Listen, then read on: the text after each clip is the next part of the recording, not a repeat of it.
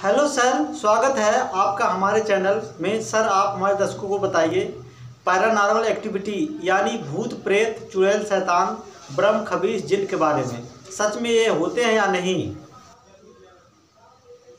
देखिए गाइस मैं आप लोगों को बताना चाहता हूँ कि ये जो पैरानॉर्मल एक्टिविटी यानी आत्माएँ होती हैं, इसमें सच्चाई नहीं है। मतलब ये नहीं होती हैं। मतलब इसमें कोई सच्चाई नहीं है। ये एक भ्रम जाल है।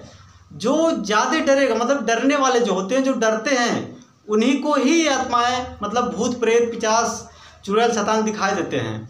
और जो नहीं डरते हैं, जो निडर हैं, वो उनको कोई दिक्कत नहीं। वो कहीं भी जाएँ, कहीं भी रहें, वो उनको कोई दिक्कत नहीं। जैसे किसी का दिमाग आउट हो गया, पागल हो गया, या कोई शराब का सेवन करता है, नशे में है, वो भी कहीं भी जाए, कोई डर नहीं। कहीं उसको ना भूत, प्रेत इससे साबित होता है कि ये दिमागी उपज है। मतलब दिमाग अगर आपके दिमाग में डर है आपके दिमाग में यह है कि हाँ भूत प्रेत ये सब हैं तो ही आपको ऐसे पैरानॉर्मल एक्टिविटीज़ महसूस होंगे। वो भी दिखाई नहीं देंगे केवल महसूस होंगे। मतलब आपको लगेगा कि ऐसी कोई शक्ति है लेकिन ऐसा कुछ नहीं है। रियल में ऐसा कुछ नहीं होता है इसलिए इस भ्रम से निकलिए। लेकिन सर सोखा और तांत्रिक।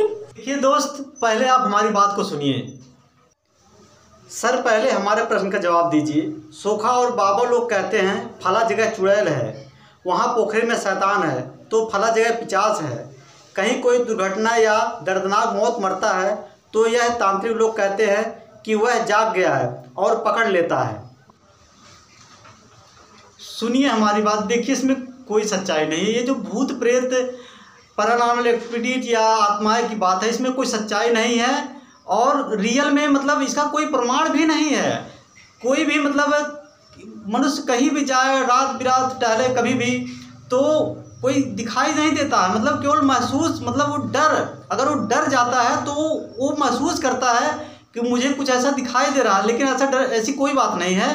और वही आदमी जब किसी सोखा के पास या तांत्रिक के पास जाता है तो उसके दिमाग में और और ज़्यादा वो जो है डर पैदा कर देता है। वो कहता है कि नहीं, तुमको बस कोई है, तुम्हारे दिमाग में कोई है, आ गया है। और वो आदमी घबरा जाता है। इसलिए जो है वो, जबकि वो उनका मतलब बिज़नेस है मतलब वो उनका व्यवसाय है, उनको उसे पैसा लेना है। इसलिए वो उसको ब्रह्म जाल में ही फैलाया रहेगा। अगर एक का मतलब बताना होगा तो चार बता देगा, आठ बता देगा, और अलग चीज़ें बता देगा जो है।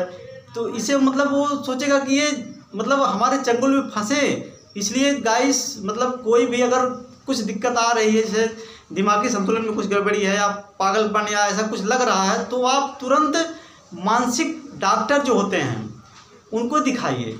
मतलब उनसे बताएँगे तो मतलब अपना बता देंगे इलाज कोर्स की मतलब इसका कोर्स है और इतना इलाज करा लीजिए लीजिए। और जो लोग ऐसा किए हैं इलाज कराए हैं मतलब डॉक्टर को दिखाए, वो एकदम सही हैं, वो मतलब नॉर्मल ज़िंदगी जी रहे हैं, और उनको कोई दिक्कत नहीं। और जो तांत्रिक सोखा ये लोग के चक्कर में पड़े हैं, वो अपना उसी में जीवन बर्बाद कर रहे हैं, रुपए, पैसे, समय सब उसी में बर्बाद कर रहे हैं। यहाँ जाना है, वहाँ जाना है तो ये पूजा चढ़ाना है, ये करना है, इसी में वो अपना समय वेस्ट कर रहे हैं, पैसा भी वेस्ट कर रहे हैं। इसलिए मित्रों मतलब इन सब पे विश्वास ही मत किया जाए, उसका एक ही सोल्यूशन है कि इस पर विश्वास नहीं किया जाए। विश्वास अगर नहीं करेंगे तो मतलब डायरेक्टली कि हम इस पर विश्वास ही नहीं करते हैं। तो बहुत ऐसे लोग जो पढ़े लिखे बुद्धिजीवी हैं, वो विश्वास नहीं करते हैं। जो नहीं विश्वास करेंगे तो उनके साथ ऐसी घटनाएँ होती भी नहीं, होंगी भी नहीं। इसीलिए हमारा आप लोगों से यह अनुरोध है कि ये सब के चक्कर में मत पड़िए और मतलब स्वतंत्र रहिए और शिक्षित रहिए मतलब जागरूक रहिए।